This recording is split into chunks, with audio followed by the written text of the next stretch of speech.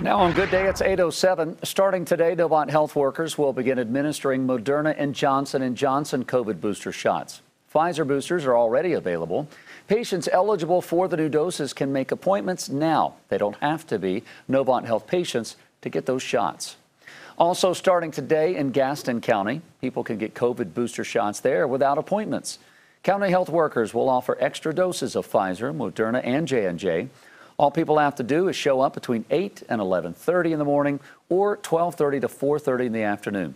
The shots are at the Gaston County Public Health Department on West Hudson Boulevard.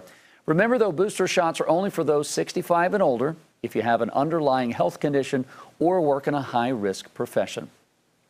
We'll get an update on the state of COVID in North Carolina. Governor Roy Cooper will be joined at a news conference by members of his COVID task force in Raleigh. That's expected to begin today at 2 o'clock.